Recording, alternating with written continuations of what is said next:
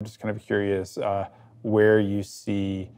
uh, where we're targeting the opportunity yeah, for you guys. Yeah, I mean, I think majority of the market growth is definitely in electric vehicle batteries and energy storage batteries, and it's mostly because those markets are growing significantly year after year, um, but also the volumes that you need for the of the material for those applications is you know thousand x what you would see in um, in a computer. So um, these markets they're they're going you know growing exponentially, and we see that's where the great uh, opportunity is.